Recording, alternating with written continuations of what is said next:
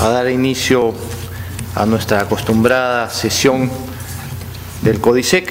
Tenemos la sesión número 315 desde que comenzó la primera gestión. Le voy a pedir a nuestra secretaria general del Consejo que se sirva a pasar la lista del caso. Gerente municipal, señor Sergio Mesa Salazar. Presente. Secretario técnico del Comité de Seguridad Ciudadana, señor Augusto Vega García. Presente. Subprefecto distrital de Miraflores, señor Julio Manrique Sánchez Brenis. Presente. Jefe de la División de Lucha contra la Violencia Familiar, coronel PNP José Vélez Biminchumo. Comisario de Miraflores, comandante PNP Jorge Maguiño Porras. Jefe de la Divincre Miraflores San Isidro y Lince, comandante PNP Marco Antonio Montero Peche. Jefe del Departamento de Turismo, representación del comandante PNP William Tuestal Alférez Caterín Casas. Jefe del Departamento de Tránsito Sur 1, comandante PNP Javier Vela Arangoitia. Jefe del Escuadrón de Emergencia Sur 1, comandante PNP Emilio Valverde Morales. Comisario San Antonio Mayor PNP Eber Barrenzuela Zuluco. Jefe de la Compañía de Bomberos Miraflores 28, Teniente Brigadier Javier Erken Bosmans. Fiscal Provincial de la Segunda Fiscal- Fiscalía Penal de Miraflores, doctora Elizabeth Celada. Juez del Cuarto Juzgado de Paz Letrado Barranco y Miraflores, doctor Hugo Granados Manzaneda. José, representante de las juntas vecinales ante el Comité de Seguridad Ciudadana, señor José Fernando Carrera Sarabia. Subgerente de Defensa Civil, arquitecta Sara Santillán Tafur. Coordinadora distrital de las juntas vecinales de la Policía Nacional, señora María Ormeño Ugarte. Gerente de Desarrollo Humano en representación del doctor Carlos Contreras Ríos, el doctor Jesús Mamani. Representante del Hospital Casimiro Ulloa, doctor Omar Gómez García. Directora del UGEL número 07, señora Gloria María Saldaña Usco. Hay quórum, señor alcalde. Muy bien, con el quórum reglamentario damos por instalada la sesión, que como he mencionado al principio, es la reunión número 315 del Comité Distrital de Seguridad Ciudadana. Es la número 30 de este, de este año y 315 desde que comenzamos. Tenemos eh, dos invitados hoy día, el señor Miguel Ángel Mufarech, que creo que no necesita presentación, él ha sido presidente regional de Lima, ha ocupado diversos cargos. Bienvenido, señor Mufarech. Tenemos también al señor Pedro Gamarra, le damos la bienvenida. Pedro Gamarra representa al Instituto Peruano de Gestión Municipal y Regional y hace unos días atrás tuvimos la ocasión de compartir una mesa de trabajo, entonces le damos también la bienvenida el día de hoy. Eh, la invitación ha sido para que ellos puedan también ver cómo funciona este Comité Distrital de Seguridad Ciudadana, que con orgullo tengo que decir que es único en el país, no solo por el número de sesiones que, tenemos, que son 315, sino por el número también de componentes y de miembros que, que están acá. Solo a manera de poder eh, irnos familiarizando, estamos tanto oficiales de diversas eh, dependencias como civiles que conforman o que son parte de distintas instituciones, también la Fiscalía, el Poder Judicial, los bomberos, la UGEL, Casimiro Ulloa, etcétera, ¿no? Entonces, ya nos vamos a ir conociendo, también está el subprefecto, está el señor teniente alcalde, está el gerente municipal, el señor gerente de eh, Seguridad Ciudadana, Augusto Vega García, que además es el secretario técnico del comité. Y eh, durante la dinámica propia vamos a ir descubriendo algunas cosas de cómo, cómo funciona este Comité Distrital de Seguridad Ciudadana. Para no hacer este, larga la presentación, lo voy, voy a dejar aquí, la misma. Solamente quiero terminar diciendo que en, en esta primera parte introductoria, que el éxito de este comité también es el compromiso y además, ya en lo operativo, saber que las personas comienzan a las 8 de la mañana y el comité se termina a las 9. Entonces, todas las otras obligaciones que los que estamos acá sentados presentes tenemos pueden ser cumplidas. No son esos comités que son que uno entra y no sabe a qué hora va a terminar. Eso es parte de un, éxito garantizado también. Em, dicho esto, le voy a dar el uso de la palabra al señor secretario técnico para que nos dé un informe de lo que ha sido la semana. Sé que también tiene algunos temas en despacho que va a poder leer, entonces también lo invitamos a que lo haga. Adelante, señor coronel.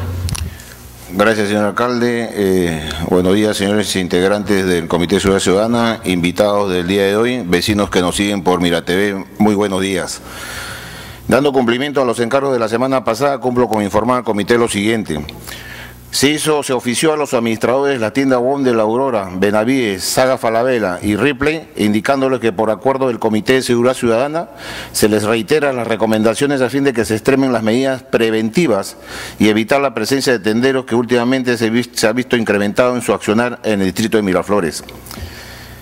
Asimismo, informo que gracias al trabajo realizado por la plataforma bilingüe de la municipalidad y en coordinación con la Embajada Australiana, la Policía de Extranjería y Turismo, el día sábado pasado viajó a su país el ciudadano australiano Malcolm Cameron Alexter, el mismo que se encontraba en situación precaria en el distrito de Miraflores. Asimismo, gracias al trabajo mencionado por las instituciones indicadas, también se pudo enviar vía Puerto Maldonado al extranjero Sergio Coronao Caprini, el mismo que va a retornar a su país de origen que es Brasil. Asimismo, durante la presente semana seguimos intensificando los operativos recicladores, parantes de cemento, basta de engaño, malecones, mendigos y otros que en su momento los jefes de áreas darán a conocer. Asimismo, como todos los lunes a las 4 de la tarde en Consejo de la Municipalidad de Miraflores se llevó a cabo la reunión del Ministerio Público y los comisarios del Distrito de Miraflores, San Antonio y el jefe de la Divincri, a fin de mejorar las coordinaciones operativas de intervención de procesos y distribución de información. Asimismo, la reunión de los jueves a las 5 de la tarde, que se llevó a cabo en la sala de crisis de la Gerencia de Ciudad Ciudadana, la reunión operativa con participación de los comisarios de Miraflores, San Antonio, jefe de Divincris, su gerente de Serenago y jefes de área. Asimismo, quiero informar al comité que se ha recibido dos documentos. Uno, el primer Ministerio Interior, que dice a la letra lo siguiente.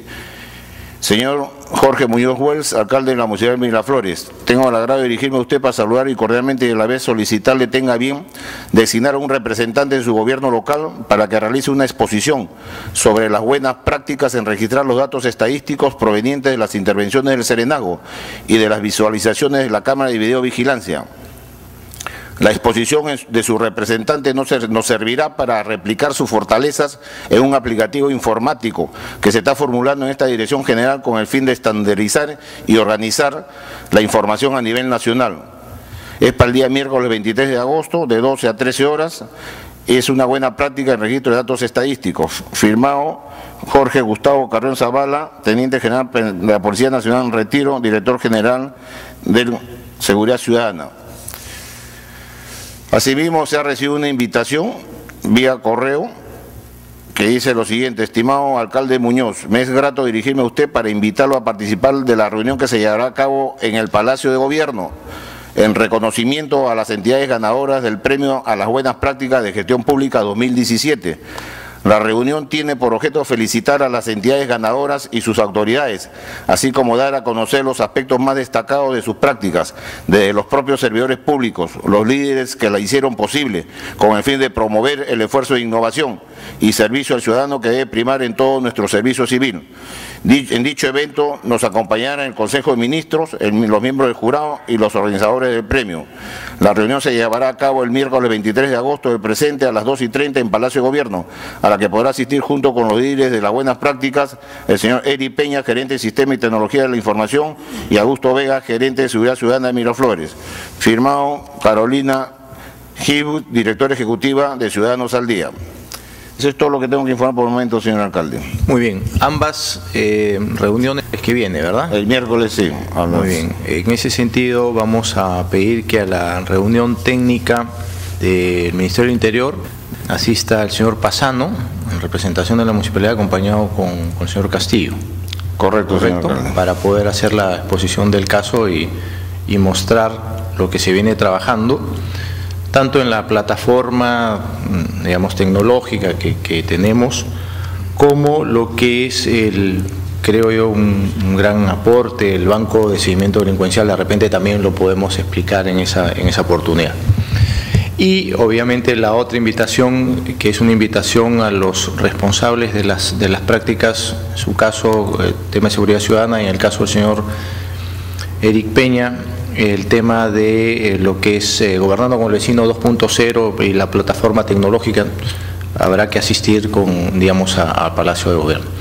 Muy bien, dicho esto, yo quería compartir como un tema también de importancia y de, y de poder tener una noción de qué cosas se están midiendo en los últimos tiempos.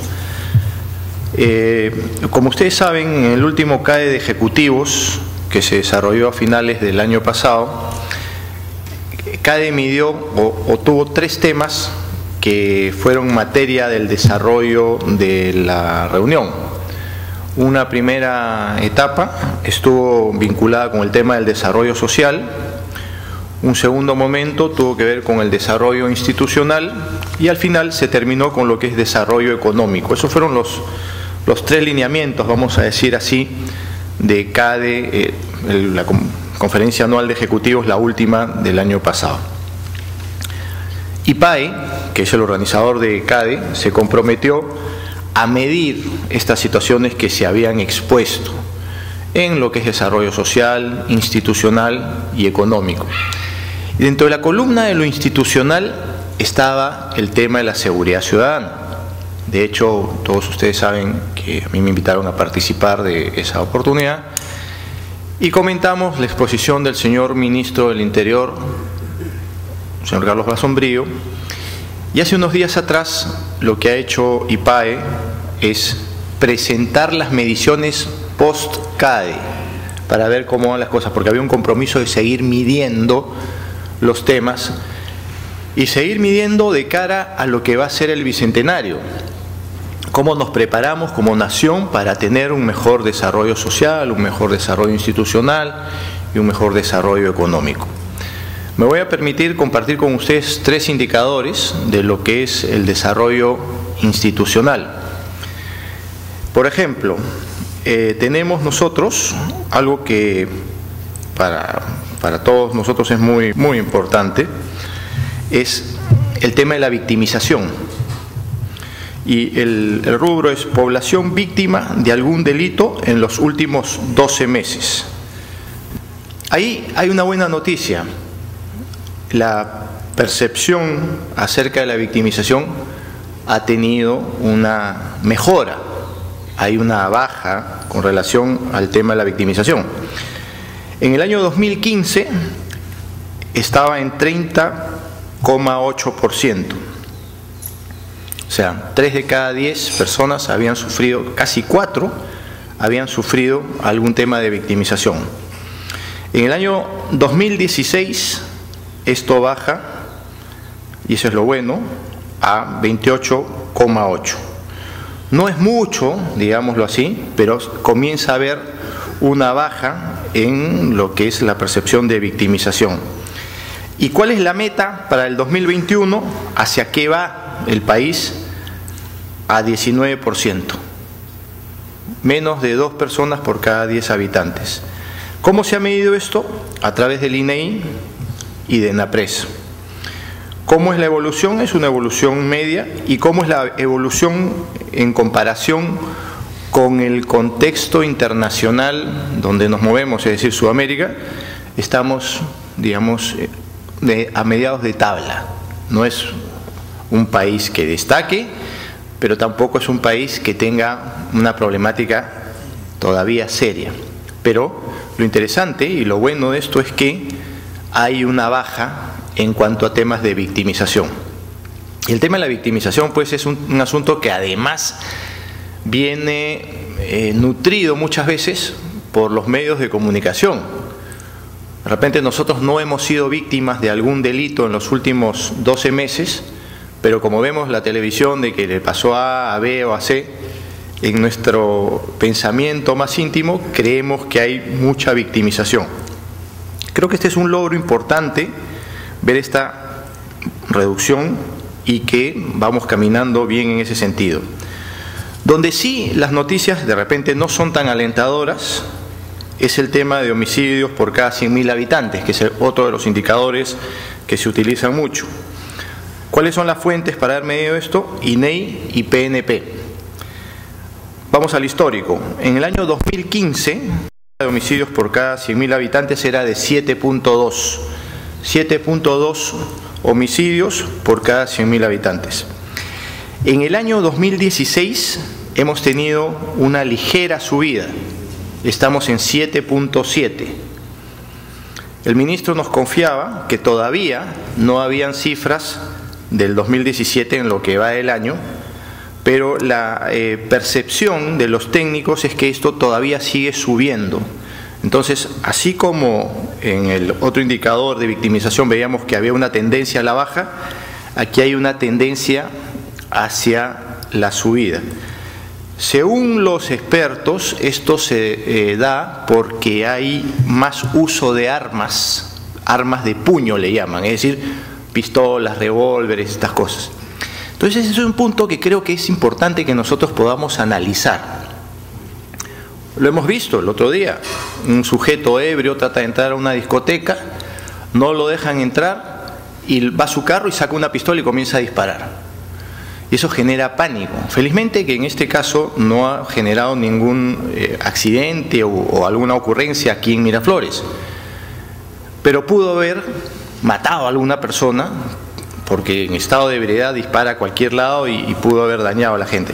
Entonces, debemos reflexionar sobre este tema del uso de armas de puño, porque deberíamos buscar al interior del comité, y eso es algo que lanzo para poder trabajarlo, una eh, estrategia para ver si logramos que las personas que tienen armas en el distrito y que no son legales, de alguna manera puedan entregar estas armas. Creo que eso nos podría ayudar muchísimo y además, obviamente, hay que hacer algunas otras medidas de control. ¿Cuál es la evolución entonces de este indicador de homicidios? Como hemos dicho, no es una evolución muy buena. Entre el 2015 y el 2016 hay una situación de aumento. Eh, ¿Cuál es la comparación internacional? Y ahora la vamos a ver. La comparación internacional, a pesar de que hemos tenido un aumento, nosotros no estamos tan mal si nos comparamos con otros países, México, Venezuela, etcétera. Lo vamos a ver en un momento. ¿Cuál es el objetivo para el, para el Bicentenario? El objetivo para el Bicentenario es que la tasa de homicidios por cada 100.000 habitantes sea de 5 homicidios por cada 100.000 habitantes. Eso sería realmente muy, pero muy auspicioso si se lograse.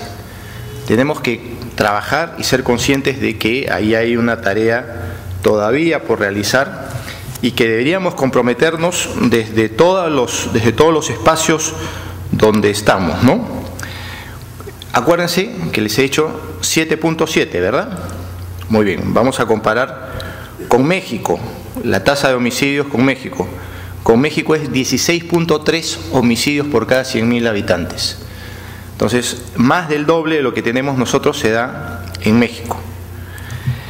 En Colombia, que también es un país donde sabemos que hay problemas tanto por la guerrilla, a pesar de todos los acuerdos de paz que se han logrado, pero también está aumentado por el narcotráfico, la tasa de homicidios por cada 100.000 habitantes es de 26.5. Entonces, como les decía yo, a nivel de, de países de la región, no estamos tan mal. Pero lo que sí hay que tomar conciencia es que cuando hay tendencias a subir, estas tendencias pueden comenzar a generar una suerte de, males endémicos. Los médicos que están acá me entienden a qué me refiero. El, tema es que tenemos que seguir trabajando en, en, este aspecto y que nos pueda ayudar a tener menos violencia en las calles. Vamos a otro, a otro de los indicadores que es de, importancia y que se compartió también ese día, que es la confianza, y acá es importante para todos los oficiales de la policía. ¿Cuál es la confianza que se tiene respecto de la policía? Nosotros, como, como Comité Distrital de Seguridad Ciudadana, estamos abocados a que nuestros policías, la gente que está tanto en el distrito o que de alguna manera por función del servicio tiene que ir al distrito, sean policías cercanas, ¿no es cierto? Cercanas con los ciudadanos. Y ese es el concepto que siempre hemos estado manejando, lo mismo que tenemos para con nuestros serenos. Queremos serenos y policías de cercanía, con un concepto de lo comunitario, con un, concepto de poder llegar a la gente y de poder estar cerca de la gente. ¿Cómo se ha medido esto, la confianza en la policía? Esto es porcentualmente también, y esto lo ha medido Ipsos Apoyo. En el año 2015, la confianza era de 39%. En el año 2016, la confianza ha caído. Es el último indicador que se tiene. Ha caído a 35%. O sea, son cuatro puntos porcentuales de caída en la confianza con relación a la policía. Ahí hay que hacer un trabajo, y un trabajo que tiene mucho que ver, según dicen los expertos, con lo que les acabo de mencionar, con la cercanía. Si la policía es cercana, si la policía es atenta, eso genera una percepción también en la gente de eficiencia. Y esto lo hemos aplicado nosotros mucho con nuestros serenos. No es que tengamos problemas, a veces tenemos problemas, no es que no tengamos problemas, a veces tenemos problemas con nuestros serenos también. Pero con un sereno que está atento, con un sereno que saluda, con un sereno que se preocupa, con un sereno que conoce al señor Pérez, González, Lagomarcino o quien fuere, entonces el sereno al saludar genera esa relación de confianza y esa percepción positiva. Es algo que dejo yo en el, digamos, en el tintero como para poderlo desarrollar más adelante. ¿Cuál es la meta hacia el año 2021? La meta hacia el año 2021, año del Bicentenario, es que la confianza en la policía suba al 45%. Por lo menos 45%. Es una meta de 10 puntos más de la que tenemos al 2016. ¿Cuál es la evolución entre el año 2015 y el 2016? Es una evolución negativa por estos cuatro puntos porcentuales que he mencionado que ha caído la confianza. ¿Y cuál es la comparación internacional? La comparación internacional de confianza con la policía es eh, mediana, ¿no? Por ejemplo, ¿cuál es la, la confianza que se tiene con la policía en México? 24% menos que la confianza que se tiene con nuestra policía. ¿Por qué? No es ningún secreto. Hay una percepción de corrupción muy seria respecto de la policía mexicana y que, hay, que está entrelazado eso con el tema del narcotráfico y problemas muy serios. Pero vámonos al otro, al otro extremo. En Colombia, después de la problemática de la época de Escobar y todas estas cosas de los años 90, la policía ha tenido una suerte de resurgimiento. De hecho, a la policía colombiana últimamente se le está poniendo como modelo en muchos aspectos. Ahí ha mejorado seriamente la percepción o la confianza con relación a la policía. ¿Qué dicen los indicadores? Que el 44% de la población en Colombia confía en su policía. Y fíjese que esa es casi la meta que nos hemos propuesto como país para el Bicentenario. Pero también, y vamos a poner otro indicador, hay policías que son muy reconocidos en, en Sudamérica. Cuando pensamos quién es la policía más reconocida en Sudamérica, al toque pensamos en los policías, en los carabineros. El carabinero es más respetado, más conocido, la percepción es muy buena. ¿Cómo está la medición con relación a los carabineros? ¿Cuál es la percepción o cuál es la confianza de la gente, de la población con relación a los carabineros? 64% de la población confía en la policía de Chile. Entonces, esto es algo que yo quería compartir con todos los miembros del comité porque... Eh, tenemos nosotros que hacer todavía muchas cosas, sin duda. Lo bueno de esto es que en las últimas mediciones que nosotros hemos realizado aquí al interior de la municipalidad, tanto la percepción del serenazgo como de la policía en Miraflores es una percepción muy buena. Pero eso no es gratuito. Eso es producto del trabajo. Realizan todos los miembros del Comité Estatal de Seguridad Ciudadana y el estar, me van a disculpar el término, machaconamente haciendo la tarea. Y hay que seguir haciéndola de todas maneras. No sé si hasta acá tenemos alguna pregunta, alguien que tenga alguna duda o alguien que quiera complementar algo. Si no lo hay, vamos entonces a seguir con, el, con la programación de la, de la reunión que tenemos para el día de hoy.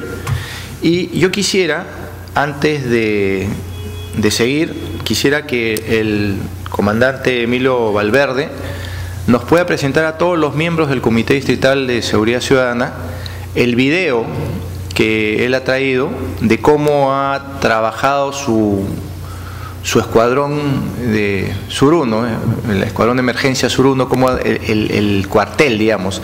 Ayer en la noche estuvimos eh, con los bomberos y estuvimos visitándolos y conversábamos sobre tener bienestar en las instalaciones tanto de la policía, de los bomberos o de cualquier cuartel que reciba gente y tiene gente dispuesta a salir a una emergencia. Comandante, si usted puede presentar su video sería buenísimo. Señor alcalde Muñoz, muchas gracias. Muy bien. Buenos días con todos los miembros del CODICE. Este video fue propalado en los primeros la quincena de vamos a pasar a otras informaciones en páralo, páralo, páralo, en la primera quincena de, de enero de 2015 eh, para su conocimiento el que habla estuvo en esa unidad el 2010 todo el 2014 y pues de, salí en enero del 2015, justo días antes que me vaya, y me fui a trabajar al Brian por dos años. Nuevamente retornado a Lima y, el comando ha dispuesto que, regrese a esa unidad. Ese trabajo de prácticamente dos años y medio, y lo, señor alcalde que tuvo la amabilidad de la visita, él, le expliqué este, qué es lo que buscábamos. En un momento dije que estaba poniendo las primeras piedras porque mucho, lamentablemente, mi institución carece de, lo que ustedes van a ver. Entonces, hace muchos años me di cuenta de que era importante que el personal tenga calidad de vida, que viva un ambiente cálido, cómodo, uno, uno, mucho por repente para levantar su autoestima, otros para motivarse y otras cosas más, recuperar valores, buenas costumbres, y eso se va a reflejar en el campo, en el día a día en la calle. Entonces en eso me di cuenta y he aplicado algunos conocimientos, como que iban a escuchar, me, propagaron, me pusieron de nombre el arquitecto, comandante arquitecto, otros me, en el criollo me vacilan como vos, el constructor. Son cositas que yo he aprendido en el camino cuando era oficial joven, cuando estaba por la selva y, y se imaginan ustedes esos puestitos, o nosotros llamamos líneas abandonadas, entonces ahí siempre vi la necesidad de los policías. Y ahí fui aprendiendo muchas cosas y esa virtud lo he aplicado como algo muy aparte de la función policial sin perder la operatividad y doy mucho de mi tiempo a eso eh, porque es algo que lo tengo bien claro, eh, debe mejorar y ojalá que sea un ejemplo porque si se ha replicado acá se puede, esto si se difunde se puede eh, aplicarle a otras unidades policiales y solamente es, mm, el factor importante es la es la las ganas de hacerlo. Todo se puede hacer en esta vida. Eh, con todo gusto, se va en esa prueba se, va, se van a ver imágenes de tres lugares con que he estado trabajando. 2008 en la comisaría de Manchay, el 2012 y 13 en el distrito de Villa María del Triunfo y parte del 2014 donde yo trabajé que ahorita en la actualidad ha cambiado más, ¿no? Se habla, vio el señor alcalde, ya hay otras cosas que no van a salir en ese video, pero ese video se ve muchas cosas. Ah, lo puede poner, señor. Tiempos como esos en los que la imagen de la institución policial está tan deteriorada, es muy bonito contarles historias como la que van a ver a continuación. Es la historia de Emilio Valverde. A él le dicen el policía arquitecto y su trabajo ha cruzado nuestras fronteras, ha sido reconocido incluso a nivel internacional. Así es, Fer, es la proactividad hecha hombre y profesional y es que él, junto con su grupo de compañeros, ha hecho de tres dependencias policiales un lugar digno para trabajar. Y lo más importante, esto no le ha costado ni un sol al Estado. Vamos a ver la nota de Juan Carlos Alcántara.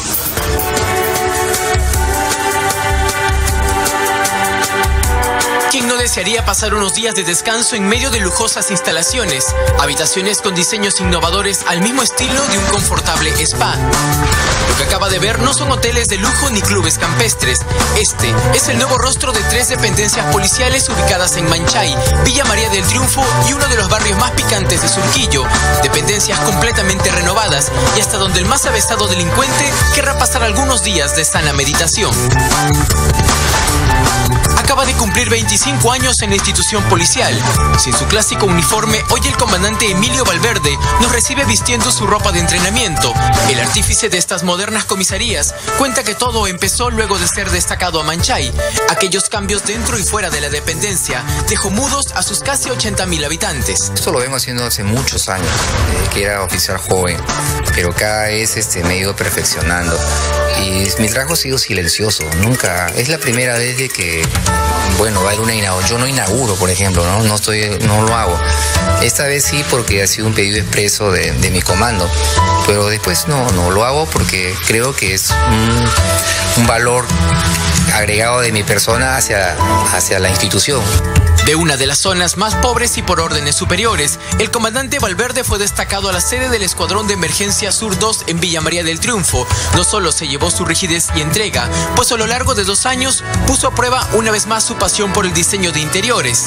Los radicales cambios dentro y fuera llamaron la atención de la prensa internacional, que la hizo conocida como la comisaría de lujo, el centro de trabajo soñado, al mismo estilo de un hotel cinco estrellas. Una comisaría en la capital peruana que más parece un hotel de cinco estrellas por lo bella y cómoda que es que otra cosa. No menos insólito es que no está en un vecindario de lujo, sino en el corazón de un barrio bravo. He hecho un sauna con un spa, hemos hecho una cafetería y hemos hecho dos dormitorios. El comandante Emilio Valverde es el artífice de esta bella remodelación. Es una unidad de servicio de patrullaje motorizado. También estamos preparados para hacer este rescate, salvataje.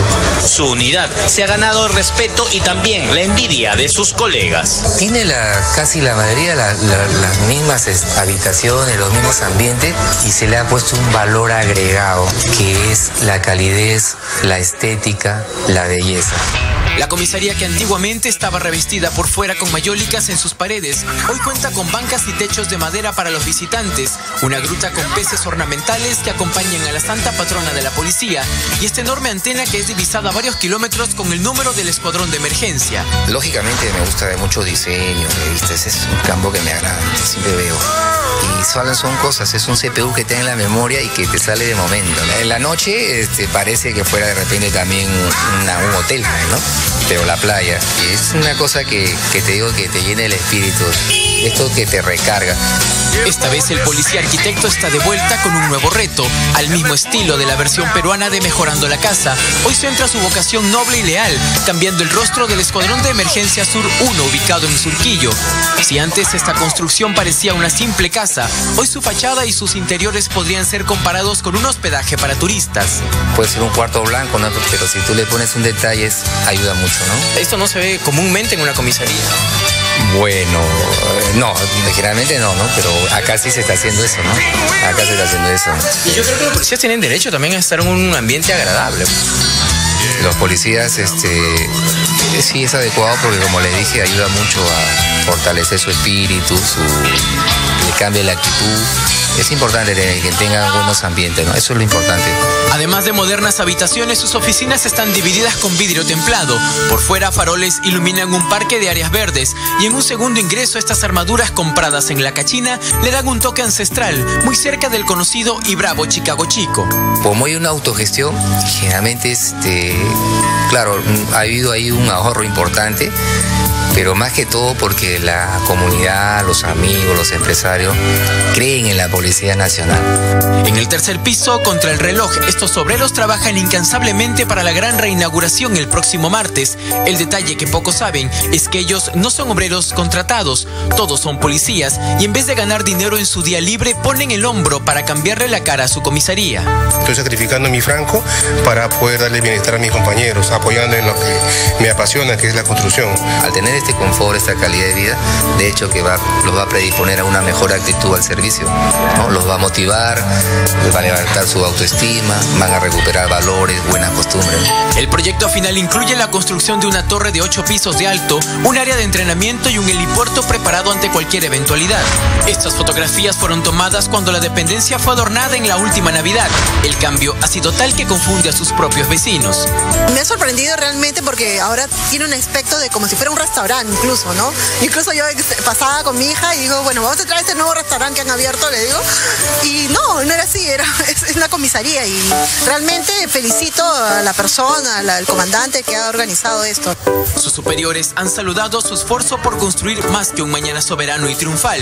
Para el general Salvador Iglesias, la idea es que las comisarías de ahora no inspiren temor, sino confianza y seguridad. Hay oficiales como el caso del comandante Emilio Valverde, que se ha preocupado pues, de darle ese toque a este local policial para que no parezca pues, un local eh, común y corriente, sino un local que atraiga a la vista de la gente. Y acá están sus amigos policías que están para servirlo, para darle seguridad. Afirma que los nuevos oficiales serán instruidos por el comandante Valverde para que continúen su labor y que estas obras se repliquen. El trabajo continúa y el comandante Ferruso, que ahora es el nuevo jefe de unidad, tiene el compromiso de continuar con ese trabajo. Yo soy muy agradecido de, de la institución policial, amo a esta institución y lo mínimo que puede ser un hijo de esta institución es aportar lo que yo, mis conocimientos, mis habilidades, aportar a la Policía Nacional. Como dice su himno, siempre habrá un policía presto a servir. El comandante Valverde es ya un ejemplo a seguir y que deje en alto el nombre de su institución.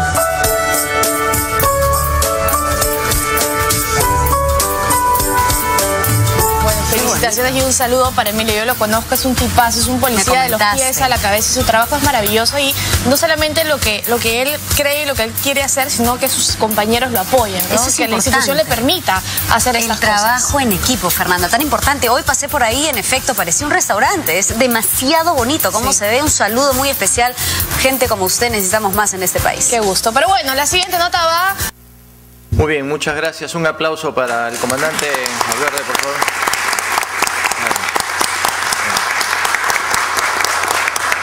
Gracias. Comandante, después de haber visto esto, este, va a tener dos pedidos, tanto del comandante Maguiño como el mayor Barrenzuela, para que les remodele las comisarías acá en Miraflores. Ya tiene relevo, ya veo, ya veo, ya veo. Muy bien, muchas gracias. Entonces, eh, hay que seguir con, con esa buena actitud para poder tener espacios adecuados, ¿no? Uno de los temas que nosotros hicimos en algún momento como producto del trabajo de la cercanía con los ciudadanos fue hacer una muestra fotográfica en la comisaría central de aquí de Miraflores. Creo que con lo que hemos visto, más lo que hemos analizado de las cifras, deberíamos de retomar ese tipo de cosas en las dos comisarías. Hacer o prepararnos para una nueva muestra para atraer a los ciudadanos. Es, es visto que, que el ciudadano tiene una actitud diferente cuando se siente que la policía es cercana y ese es un trabajo que tenemos que realizar y es parte de lo que nos ha traído buenos resultados aquí en Miraflores. Bien, vamos a darle el uso de la palabra al comandante Maguiño para que nos dé el informe semanal a los que estamos ya acostumbrados. Muchas gracias, señor alcalde. Buenos días, señores integrantes de este comité, invitados presentes, ciudadanos que nos observan por las imágenes de Mira TV. Para dar cuenta de la producción policial correspondiente a la semana, desde el viernes 11 de agosto al día de ayer, jueves 17, a cargo de la comisaría de Miraflores. Se han realizado dos operativos policiales, 12 eh, dirigidos a vehículos de alta gama y vehículos menores, contando siempre con el apoyo incondicional del Serenazgo. Eh, durante la semana hemos tenido tres detenidos eh, en flagrante delito, dos de ellos por conducción en estado de ebriedad y uno por microcomercialización de drogas. Asimismo, se ha logrado la captura de tres personas requisitoriadas, uno por tráfico ilícito de droga, uno por faltas contra la persona y el tercero por conducción en estado de ebriedad. Eh, para dar cuenta, señor alcalde, sobre eh, hemos tenido un evento durante la semana en una discoteca de aquí de Miraflores. Eh, se están realizando las, en coordinación con, con la de Pincri Miraflores, se están realizando las investigaciones preliminares. Se cuenta con, con buenas imágenes de las cámaras de seguridad del distrito. Estamos acopiando la, la identidad del, del autor. Eh, preliminar, al, parecer sería un- una persona llegada a la discoteca. Queremos descartar si se trata de, un- de una persona de seguridad. Estamos eh, también en coordinación con la doctora Celada, que está a cargo de la, investigación, eh, realizando pues las investigaciones correspondientes para dar con el paradero de esta persona y poner a buen recaudo la investigación. Eso sería todo por el momento, señor alcalde. Muy bien, con relación a esto último, yo quiero pedirle tanto a la policía como a la fiscalía el máximo rigor con, relación a, esta discoteca, porque es una discoteca con la que tenemos muchos problemas para poner en conocimiento a los miembros del comité. Eh, el grupo que tiene la posesión de este inmueble es un grupo que tiene problemas de índole contractual con quienes le han alquilado. Están en- ya me dicen los abogados de los propietarios que están próximos a lanzarlos ya, porque no han cumplido con todas las cosas que tendrían que haber cumplido. En lo que es la relación con la municipalidad, estos conductores o esta discoteca no acatan el horario que es hasta las 3 de la mañana y se han ido a Indecopi y han obtenido en Indecopi una resolución diciendo que lo que nosotros hemos hecho ahí es una barrera burocrática que atenta contra su permanencia en el mercado. Entonces, dicho de una manera muy simple, Indecopi, Indecopi lo que ha hecho es darles carta abierta para que funcionen hasta la hora que quieran. Y ahora se lavan las manos y dicen que el tema de la fiscalización es un tema nuestro. Ahora, como quiera que esto es un asunto administrativo, nosotros hemos llevado el caso del tumbao al Poder Judicial. Y también quiero decirles que en las instancias preliminares venimos ganando, pero todavía no se ha cerrado el tema.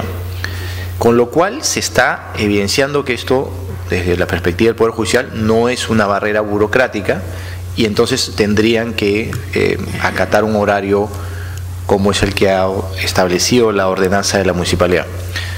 En ese sentido les quiero pedir pues entonces a la, a la Policía Nacional y a la Fiscalía que se tenga un trabajo riguroso porque son personas que están trabajando de manera alejada de la norma, de, espaldas a la ley, trayendo gente que no necesariamente contribuye a la tranquilidad de esa, de esa zona y la mejor prueba es lo que ha sucedido en días atrás. Muy bien, no sé si hay algún comentario sobre estos temas, si no, le vamos a dar uso de la palabra al mayor Barrenzuela, que es el comisario de la comisaría de San Antonio. Solo para, los, para poder ilustrar a los invitados, en la jurisdicción de Miraflores tenemos dos comisarías. Una comisaría que está a cargo del comandante Maguiño y la otra comisaría que está a cargo del mayor Barrenzuela, a quien le estamos dando el uso de la palabra. Gracias, señor alcalde, señores integrantes del COVICET, señores invitados, tengan ustedes muy buenos días, ciudadanos que, no- que nos siguen a través de Mira TV.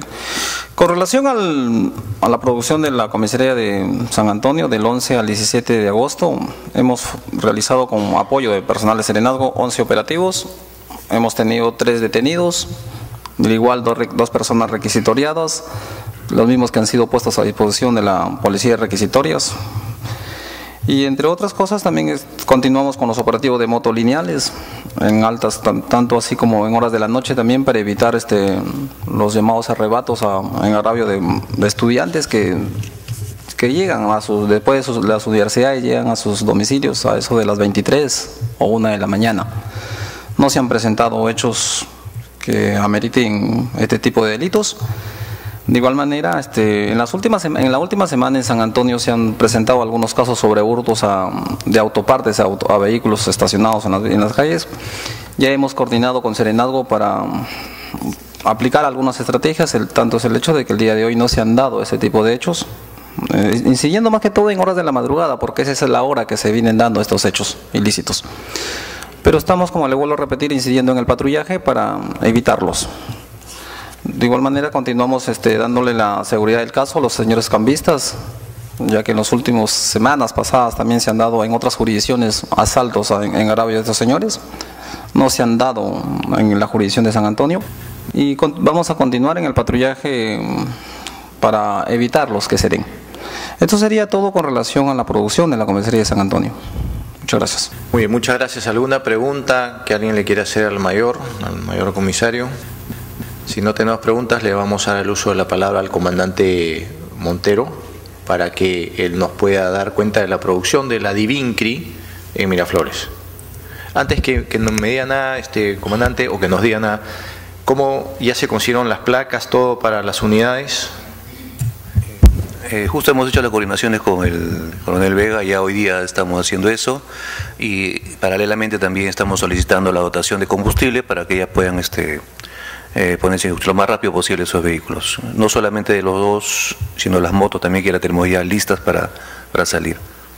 Quiere decir que ya están las placas. Ya están, sí. Ok, perfecto. Qué bueno, porque son, son, es un esfuerzo que ha hecho la, la, municipalidad para poder fortalecer a la Divincri y lo que queremos es que estas unidades estén en las calles haciendo la labor que tienen que hacer, ¿no? Gracias. Adelante, comandante. Bueno, disculpe, buenos días, eh, señor eh, doctor Muñoz, eh, miembro de CODICE, miembros invitados de la mesa, eh, vecinos de Miraflores. Bueno, eh, hemos tenido, eh, como ustedes sabrán, bueno, el que habla es jefe no solamente de, de investigación criminal, no solamente del distrito de Miraflores, sino también de Lince y San Isidro. Afortunadamente en Miraflores no hemos tenido novedad de importancia, sí en otros distritos. Eh, estamos trabajando coordinadamente con lo que es el distrito o la comisaría del distrito de Miraflores, tanto con el comandante Maguiño como el mayor Barrenzuela, y creo que la situación anda bien. Eh, por lo demás, seguimos realizando las, los, la diligencia de investigación eh, de conformidad pues, a las carpetas fiscales de, de ambas fiscalías del distrito de Miraflores. No tenemos novedad de importancia y sobre lo que ha comentado efectivamente el comandante Maguiño respecto al evento suscitado en la semana. Ya estamos haciendo las coordinaciones para poder no solamente en ese local, sino en otros locales, realizar actividades eh, policiales de, de, inteligencia para poder sustentar a un momento nuestro allanamiento legal en diferentes locales. Eso lo vamos a hacer en, en transcurso de los próximos días. Muy bien, ¿alguna pregunta, algún comentario que tenga que ver con lo hecho dicho por el señor comandante Montero? La relación con la fiscalía, todo fluida, con las cosas que... ¿Sí? ¿Todo bien? Perfecto. No tenemos entonces ninguna problemática en ese sentido. Lo bueno de estas mesas es que nos permite, como hemos dicho, poder coordinar algo que pueda estar faltando o algo que no esté, digamos, en la, en la línea de lo que la efectividad nos, nos exige, ¿no? Los lunes, lo bueno es la reunión de los lunes que se hace con la Fiscalía también. Eh, yo quisiera, a manera muy breve, Augusto, pedirte si tú puedes explicar en qué consiste esta reunión, sobre todo para los invitados que tenemos esta mañana. Bueno, eh, le hemos denominado las reuniones operativas de los días lunes a las 4 de la tarde. Todos los lunes eh, nos reunimos aquí en el Consejo de la Municipalidad. Eh, representante del Ministerio Público, de las dos comisarías y de la Divincri y la Gerencia de Ciudad Ciudadana. con la finalidad de establecer ciertos criterios de coordinación.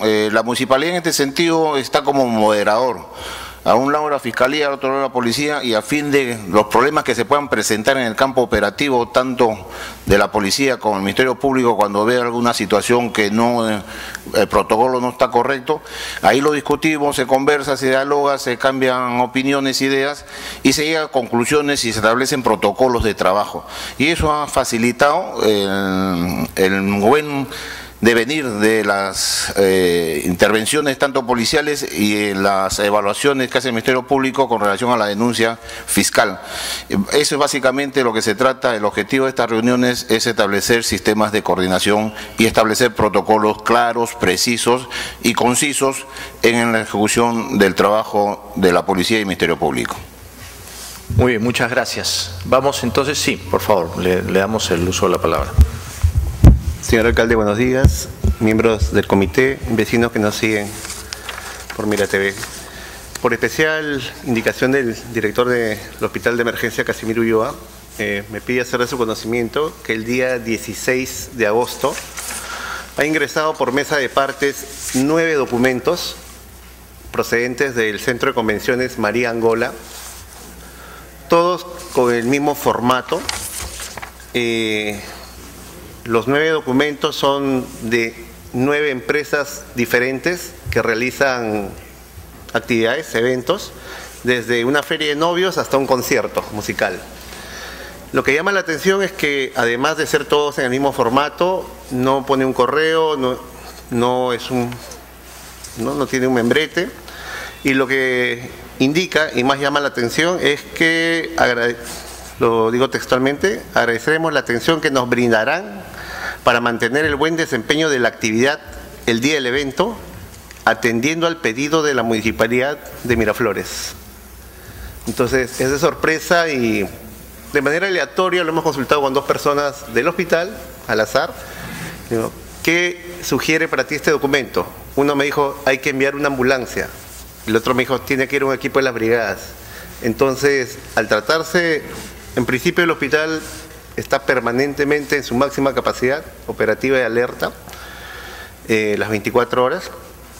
Eh, por tratarse de eventos privados, según ley, ellos tienen que tomar las medidas necesarias y en el caso de suscitarse un evento adverso, eh, este documento hace de cuenta para que, deberíamos contar, eh, brindarles el apoyo cuando no corresponde. Esa es un poquito la, Bien, muchas gracias señor Gómez por su intervención. Creo que esto es muy valioso, lo que usted nos, nos trae aquí al comité, porque nos permite advertir una situación que podría ser una sorpresa, y lo pongo en condicional porque tengo la sensación que esto no habría pasado por una autorización municipal o podría no haber pasado por una autorización municipal. A su izquierda tenemos a Sara Santillán, que es la eh, responsable de Defensa Civil, es la subgerente de Defensa Civil. Ella tiene una responsabilidad de verificar si estos eventos tienen la calidad para poder seguir adelante o no. Vamos ahora, he pedido también que venga la jefa de fiscalización, mientras que usted está hablando, va a venir y va a venir también la jefa de comercialización para poder cerrar el círculo y tener eso muy claro de cara a lo que son autorizaciones municipales. Eh, me está pidiendo el uso de la palabra el señor Javier Erken, que es de la compañía de bomberos número 28 Miraflores. Le vamos a dar el uso de la palabra en, breve, pero termino diciendo que la coordinación que nosotros hacemos nos permite estar justamente en la línea y no vernos sorprendidos. Ya hemos tenido algunos problemas con este local porque realizan eventos eh, desmedidos. Por ejemplo, hay un foro que tienen ellos de venta de pasajes y la gente se amanece para poder comprar estos pasajes. Y bueno, fuese que se amaneciesen, pero se amanecen y van a las calles y, y hacen cosas que son indebidas, etc. Entonces, este, vamos nosotros a hacer la coordinación de vida. Ya la veo a Amelia, Amelia Robles que está entrando. Amelia, por favor, si, si puedes tomar un ratito asiento y vamos a hacer una coordinación apenas termine la reunión contigo. Eh, señor Javier, que entiende usted el uso de la palabra. Señor alcalde, buenos días. Buenos días a todos los miembros y a los vecinos. Eh, este tema que ha comentado el doctor, eh, yo lo escalé de alguna manera hace unos meses con la doctora Santillán, la arquitecta, perdón, debido a que nosotros en la compañía de bomberos nos llega el mismo documento del referido hotel o el centro de convenciones haciendo la misma indicación de que van a hacer un evento con tantas personas, tal fecha. Y yo ya había detectado, porque me, llegan los documentos y los iba leyendo, es que es el mismo formato efectivamente, eh, inclusive el número de teléfono que ponían como contacto, yo les llamé la atención al Mariangola, era, eran distintos nombres y era el mismo número de teléfono y contestaba una misma persona. ¿Ok? Y si observa bien el doctor el documento, la firma es una firma fraguada y se lo mostré a la doctora Santillán porque si yo me llamo Javier Erken, la firma es J. Erken o Javier Erken con la misma letra y si el señor del costado o el siguiente documento es Carlos Pérez, la firma es C. Pérez y todas las firmas son iguales. O sea, no firma realmente la persona responsable de la empresa. Y creo que esto hace referencia a tratar de, de alguna manera, eh, cumplir con lo que la ley pide de, comunicar a los bomberos o comunicar a la PNP o comunicar al hospital del distrito para que puedan pasar un tema de fiscalización. Eso ya lo tiene hace algunos meses la, doctora, la arquitecta. Muy bien, muchas gracias. Mientras que estamos hablando, ya veo que, que, en sala está también Gloria Corbacho, que es la gerente de autorizaciones y control urbano. Que dicho sea de paso, Gloria, muy buenas tus declaraciones leídas esta mañana en el comercio, precisas, claras y con la firmeza del caso frente a situaciones como las que algunas discotecas quieren tener y el, poco, la poca sensibilidad de algunas instituciones como la institución que está involucrada y no voy a decir el nombre. Muy bien, eh, me interesa que podamos entonces tener muy claro esto para poder actuar. Eh, Sara Santillán ya tiene también claro la, desde la perspectiva de defensa civil. Amelia Robles, que ha llegado, también se ha puesto un poco ya al tanto. Me parece que Enrique Pasando le ha contado el tema. Eh, Gloria, que ha llegado, también sabe que. Y estamos, nos estamos refiriendo, solo con una suerte de resumen, nos estamos refiriendo a una serie de actividades que va a tener el Mariangola, que son actividades que van desde una feria hasta una situación de un concierto. Además que es un concierto, entiendo yo, por lo que me han dicho, de un grupo de antaño esos que va a jalar gente, muchísima gente, entonces hay que tener cuidado. Y, hay que ver que las cosas se hagan con arreglo a la norma. Si cumplen, se les va a dar todas las facilidades. Si no cumplen, la municipalidad no va a dar ni una autorización. ¿De acuerdo? Eso que quede muy claro. Entonces, sí, señor Gamarra, usted es un invitado, adelante. Señor alcalde, especial reconocimiento a la gestión que usted viene liderando. Eh, distinguidos ciudadanos aquí presentes, es muy lamentable lo que ha sucedido en Barcelona. El señor presidente Mariano Rajoy ha pedido unidad institucional. ¿Y por qué hablo de Barcelona? Porque lamentablemente acá también se han vivido esos hechos tan críticos como lo sucedió en Tarata, se cumplió hace poco el 25 aniversario. ¿A qué quiero referirme? El delincuente común y el delincuente terrorista tiene presente cuatro factores para hacer el acto delictivo. Primero definen los dos o tres lugares donde quieren realizar el atentado o el hecho delictivo. Lo segundo, obtienen todo tipo de información. Lo tercero, definen el factor sorpresa. Y lo cuarto, emplean la agresión, la violencia. Entonces, nosotros como ciudadanos nos decimos, están organizados. Sin embargo, en estos cuatro factores están las respuestas.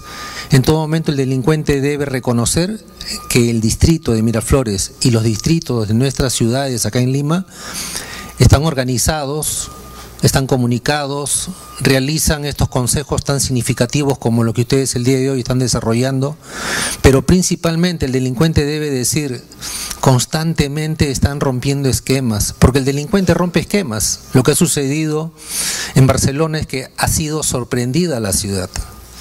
Entonces, como director asociado del Instituto IPGEN, me siento honrado por esta invitación, señor alcalde, pero queremos dejar un nuevo razonamiento. Ya no debemos hablar de seguridad ciudadana, debemos hablar de seguridad y ciudadanía. Comprendan ustedes lo importante que es considerar una sola palabra para darle un nuevo valor en complemento a todas las estrategias que viene desarrollando el gobierno central, regional, municipal, como también el que lidera acá la Municipalidad de Miraflores, es necesario comprometer la identificación y participación de nuestra ciudadanía. En el momento que comencemos a hablar de ciudadanía con más valor, pues el ciudadano va a participar. Es la semilla que queremos dejar en esta reunión. Nosotros desde IPGEN Hace seis meses llegamos a las conclusiones que urge promover ciudadanía y estamos promoviendo el foro que se llama Ciudadano Peruano 2021. Todos estamos preparándonos para el Bicentenario importante las actividades culturales, artísticas, pero también es importante apostar por cultura. De esta forma vamos a lograr todos los objetivos que tenemos trazados. Muchas gracias, señor alcalde. Las gracias a usted, señor Gamarra, por su intervención. Y le vamos a ofrecer el uso de la palabra al señor Mufarech, que también es invitado, si quisiera decir algo, ya para irnos despidiendo. Sí, señor alcalde y miembros del Comité de Seguridad Ciudadana, agradecido por la atención de permitirme asistir. Yo he tenido una activa participación siempre en esto, como información. Yo fui fundador del Consejo Nacional de Seguridad Ciudadana como el primer presidente de la región, designado por el presidente Toledo. Y yo he trabajado todos los meses en el Ministerio del Interior. Pero felicito, alcalde, la convocatoria, porque en esas reuniones que yo iba nunca estuvo el presidente de la Corte, nunca estuvo el fiscal, nunca estuvo un ministro, solamente el ministro del Interior, el director de la policía y otro policía más, otro general. Pero la importancia de esto, yo estoy en Huacho, he sido presidente de región, ahora soy consejero y estoy postulando a la alcaldía, es que tampoco funciona en Huacho esto no va el gobernador, o no va el alcalde, o no van las instituciones públicas. Acá veo casi todos están acá. Entonces, cuando existe un interés realmente de resolver, por eso ustedes han sido premiados y por eso tienen el éxito de ser uno de los mejores distritos en seguridad ciudadana, cosa que felicito. Y si estoy acá es porque quiero aprender de ustedes, al margen de lo que yo he sido, y también he sido congresista, es que mi provincia es una de las más abandonadas, la construcción civil es un asalto permanente, los robos por la calle, el tráfico de drogas, la violación, casi invivible la situación, ¿no? La policía hace mucho, pero lo que acabo de ver del comandante, que le pediría si me da un CD, es realmente eso, los valores morales, el ejemplo y la calidad de vida. Si ustedes vieran cómo vive un policía allá o, cómo, con qué comunidades trabaja un serenazgo, es imposible poder avanzar. Entonces, la gente policía no tiene ánimo, el serenajo a veces usa los vehículos para mudanza, para negocios, y estamos pues un poco desguarnecidos, ¿no? Entonces yo creo que en este ocho o nueve meses que se vienen de trabajo político, asistiré el máximo de veces que pueda, aprender de ustedes, felicitarlos, he conversado con algunos antes para cualquier información que me puedan dar y poderla aplicar también allá. No creo tener la suerte de ganar un premio como el alcalde, pero hacer algo y agradecerle al alcalde a todos ustedes. Muchas gracias también por sus palabras. Un, tema que es importante, eh, comandante Valverde le va a dar su CD y su tarjeta de arquitecto también. Eh, es importante, decía, que hay que tener voluntad política y sobre la base de la voluntad política se construyen todas las otras cosas. Hace unos días atrás, en un desayuno de trabajo donde coincidimos con el señor Gamarra, había un representante de Puno que también hacía un poco la misma crítica que ha sido hecha por el señor Mufarech. Y yo decía, en ese momento teníamos 314 reuniones del Comité Distrital de Seguridad Ciudadana. Yo me preguntaba, porque lo que decía este señor de Puno era que nunca veían a las autoridades y que por ende no había casi una convocatoria para que se reúnan en, el, en los distintos comités. Entonces yo me preguntaba si cuántas reuniones de las 314 había estado yo acá, y por lo menos eran 300. Algunas en estos siete años, algunas veces no he estado porque he estado de viaje o atendiendo alguna otra situación que era de urgencia. Pero creería que por lo menos 300 y ahora 301, como la de hoy, he estado participando y, cuando no estoy está el equipo. Y lo importante es el seguimiento. Y todos y cada uno de los miembros que están acá son parte de ese equipo. Y eso es lo, lo más importante. Y yo trato de involucrarme y de conocer cómo están trabajando las distintas dependencias que forman parte de, esta, de este CODISEC y yo tengo una frase que creo es un poco el resumen de, mi filosofía. En, el Perú no sobra nadie. En el Perú todos somos indispensables. Todos podemos aportar, todos tenemos la capacidad de dar. Y aquí en este comité tampoco sobra nadie, por ende. Todos tienen muchas cosas que dar. Todos son valiosos.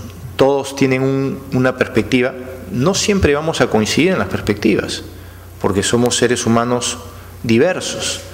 Pero desde esa eh, posición, lo que siempre buscamos es tener estos puentes.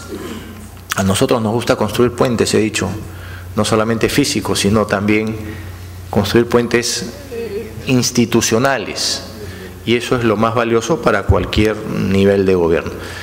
Como les dije, y para no faltar a mi palabra, ya nos hemos excedido, nos hemos pasado un poquito de las nueve, Vamos a levantar la sesión hoy día. Agradecemos la presencia de los invitados y de todos los miembros del Comité Distrital de Seguridad Ciudadana.